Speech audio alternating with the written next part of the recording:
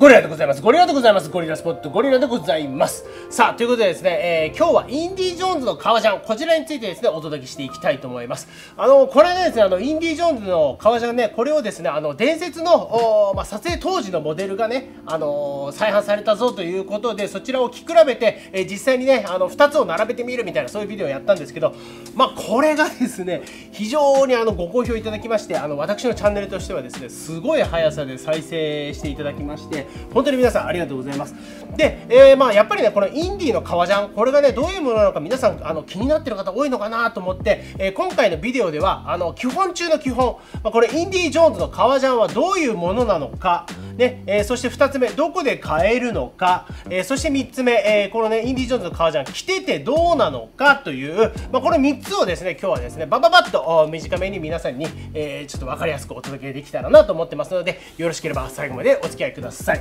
では行ってみましょう。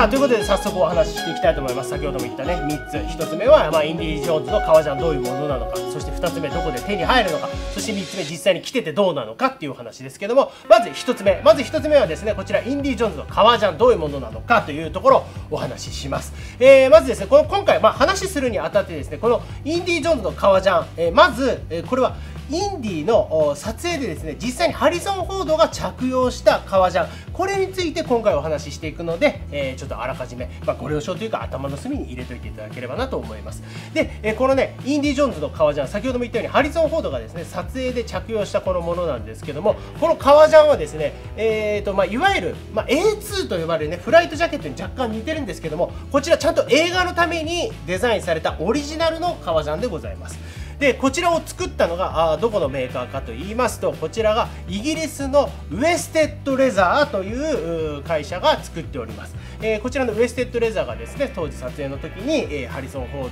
ドに、えー、合わせて革ジャンを作っておろしたということなんですけどもこの Wested Leather はですね実は今でもこのインディージャケットを生産しておりまして、え実際に Wested Leather のホームページから購入することが可能となっております。まあ、ではどういったものなのかね革ジャンとしてどういったものかちょっとざっとお話ししていきたいと思います。まずですねこのジョーンズ博士のこの革ジャンですね。こちらですね、えー、ジョーンズ博士の革ジャンは革はラム革となっております。で、えー、と実は、まあ、これ細かい話で長くなっちゃうんでここは割愛しますけどもインディ・ジョーンズ全部で5作ありますよね、えー、去年2023年に公開されたとこまでいくと5作あります。で、えー、レイダース魔球の伝説最後の聖戦クリスタルスカルの王国そして去年公開された運命のダイヤル。この5作で実は革ジャン全部デザインが違います。ね、で、えー、そのうちのおと4つ目の4作目クリスタルスカルだけ皮が牛側になったりとかあとはえーと、3作目ですね。3作目と4作目ここにねスナップボタンがついたりとか、まあ、若干いろいろと仕様は違ってるんですけども、えーと、今回ね、えー、メインでお話ししていくこのレーダースレーダースはこれラム側でできております。羊のカードでございますね。で色はまあ俺ねもう15年ぐらい着てるんで、まあ、ちょっと色だいぶ汗できて、えーね、経年変化が出ちゃってるんですけども、まあ、ダークブラウンでございますね。はい。でまあ先ほどもから言ってるように A2 にちょっと似てるんだけども A2 と大きく違うのは袖のねリブがない、えーと、とあと腰の周りのねこのリブがないというのが大きな特徴かなと思っております。でまあこれね襟があってダイレクトですけど襟があって、えー、両側にフラップのついたポケットが2つあります。でこのポケットなんですけどこれもね A2 ちょっと違うのが実はねこれサイドポケットがあるんですね。横からこう手入れられるようになってます。なのであの最後の聖戦でねインディがこうお父さんと縛られてる時にポケットからライター出てくるでしょ。あれどっから出てくるのかって実はねここから出てるんです。ね。なかなかインディーがねここに劇中でねここにポッケットに手を突っ込むシーンというのは一つもほぼないのでちょっとね分かりづらいんですけど実際に購入してみると分かるんですけどここにポケットがついてる。でポケットでいうともう一つこのね左の胸側のポケットに内ポケが一つございます。こっち側にはないですね。はい。で、まあ、ジッパーがあって前ジッパーで止める仕様となっております。で後ろ側があえっ、ー、とねこちらが、えーと、なんだアジャスターベルトがあってこれが2つね両側からあって、まあ、この形状に関してはいろいろ12345でねさっき言ったようにいろいろと仕様が変わってくるんですけど、まあ、まあ、大きく言ってここに、えーと、ここにえー、アジャスターベルトがついているというような感じが、まあ、これがいわゆるインディージャケットとなっております。インディーの革ジャン、えー、でございますね。はい。ゴリラのビデオあらやった。さあでは2つ目インディ・ジョーンズのジャケット。ねこのインディの革ジャンどこで買えるのかこのウエステッドの革ジャンどこで買えるのかというお話ですけどもこちらがですね、えー、先ほどからおっしゃっておりますウエステッドレザー、えー、こちらのですねウエステッドレザー社のホームページから購入可能となっております、えー、まあ、随分昔はですねあのディズニーシーですね東京ディズニーシーのインディ・ジョーンズのアトラクションの向かい側にインディ・ジョーンズのグッズコーナーがあったんですけどそこでね、えー、一時ちゃんとね発売されてた時期もあったんですけども残念ながら今インディのコーナー自体がほぼなくなってしまっておりまして、えー、今はですねウエステッドレザーのジャケットはウエステッドレザー社のホームページから購入することができます。でさらにこちらがですね、えーと、オーダーメイドで自分のねこれ袖丈とか、まあ、そういったね、あのー、カスタムもできたりするのでもちろんね吊るしでねサイズ38とか、まあ、364042とか、まあ、サイズで買うこともいわゆる吊るしと呼ばれるそれで買うこともできるんですけども、まあ、細かく指定して、えー、購入することもできます。ただしただし、えー、なかなかですねこれが海外の買い物となりますとですねなかなか意思疎通がいかなかったりとかですね、えー、ここまできっちり書いたのにななんで全然こういう風に届かないのかななんでここはお話通じないのかなみたいな、まあ、そういったですねトラブル、まあ、ご愛嬌として、えー、あったりしますのでそれはですねちょっと覚悟をしとくのも一つかあの冒険の楽しみの一つかななんて思ったりしますけども、はい。まあ、でも基本的にはですね普通に注文すれば普通に届きます。で、えーと、納期ですね、まあ、前回のビデオでもお話ししたんですけども春樹くんがおっしゃってくださいましたが、まあ、大体繁忙期でなければクリスマスとかね、えー、インディ・ジョーンズの新作が公開するとかまあ今のところないですけどもそういった繁忙期でなければ大体1ヶ月ぐらいで日本だと届くというふうに言われてます。でで、まあ、お値段の方は日本円にして大体5万円前後ですかね、まあ、レートでいろいろ買ってきますけどもあと物とかねカスタムの仕様によって変わりますから、まあ、大体5万前後で、えー、購入ができます。で、えー、さらにですね他に何かあったかな。うんとああとね届いた時に関税革なんで関税がかかってきます。これが大体5000円ぐらいだというふうに言われております。はい。まあ、そんな感じですかね、まあ、ということで、まあ、ウエステッドレザーに今日は絞ってお話ししておりますけども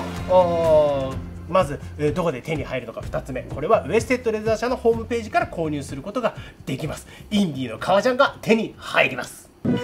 リラのビデオ。そして3つ目着ていてどうなのかというようなあところね。実際の着用感ですね。まあ私もこれ15年ほど着てます。まああのー、毎日毎日着てるわけじゃないんですけどまあまあ大体シーズンに1シーズンには12回今でも着てるし、まあ、去年はねとにかくインディーが公開されたのでしょっちゅう着てましたけどもまあこれはね俺の個人的な感想になってくると思うんですけどまず私はねほぼ劇中のインディ・ージョンズに自分がね見えるようなあイメージで購入しました。まあどういうことかというとオーバーサイズで買ったりとかタイトめに着るとか、まあ、そういうんじゃなくてあくまでちょっとこう、ね、自分の体に合ったこのなんていう余裕加減っていうのがをの基準を、まあ、インディーと同じような感じで購入しました。でこれは30、えーと、なので6ですね。36で購入しております。で、まあ、実際に着ていて、まあ、大体の革ジャンがそうなんですけどもまず、まあね、冬場にね、えー、今の時期なんか特に革ジャンかっこいいんでね着たいところだと思うんですけど革ジャンっていうのは、まあ、防寒性がないので、えーまあ、真冬にこの時期着ると正直寒いです。これ1着だとね。ただえっ、ー、とねえー、このねさっきも言ったようにこれ後ろコットンなんですけども割とね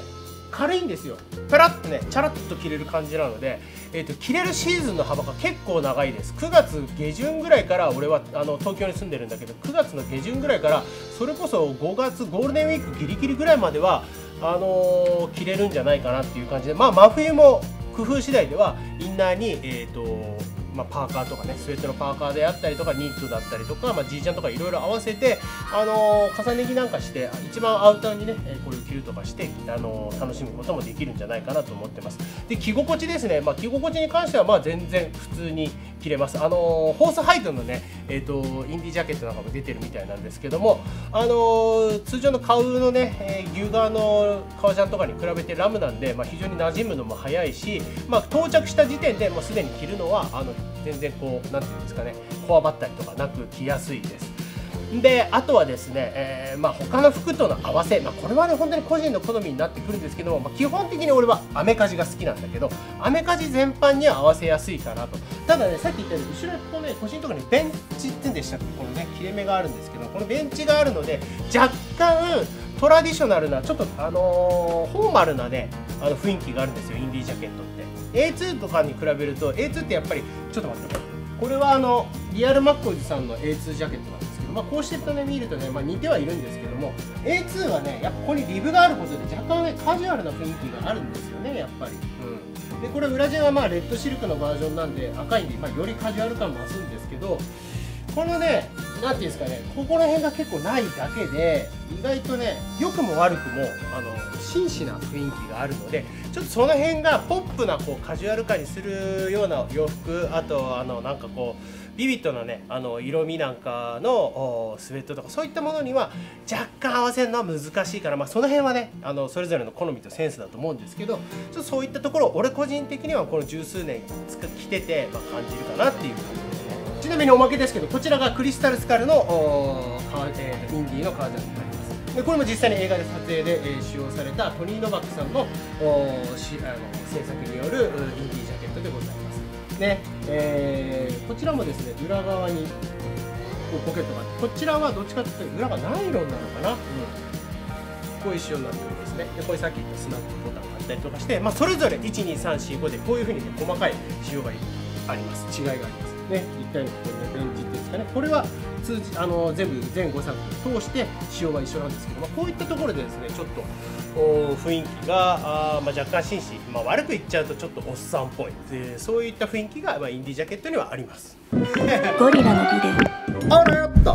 さあということでザザザっとお話ししてきましたけどもまあね今ねウエステッド以外でもいろいろとねインディージャケットっていうのは作ってる方たちいます。で中にはですねもうすっごいインディーマニアの方がもうねそれこそ本物の撮影時で使われたインディージャケットをあの実際にね見せてもらってそれを写真撮ったりとかして、まあ、細かい傷まで全部再現したレプリカみたいなねあのインディージャケットを作ってるメーカーもあるんですけど今ですね実はそのあのー、やっぱりインディージャケットっていうこの俺もそう思ってるのもそうなんだけど長いウエステッドのねこの歴史の中で型番とかねちょっと少しずつ編集が変わってきちゃったんですね。なので、えーと、原点に立ち返って本当に撮影で使った時の型紙あのパターンね、えー、から金具から何から全部ウエステッド社が革の染め方とか全部当時のものをちゃんと再現したレプリカのレガシーモデルというシリーズもあったりしましてこれはですね、あのー、前回のねビデオでもご紹介しましたあのハルキ君が購入したレガシーモデルなんですけども、ま、これもねぜひウエステッドから購入することができますのでよろしければそっちもチェックしてみてください。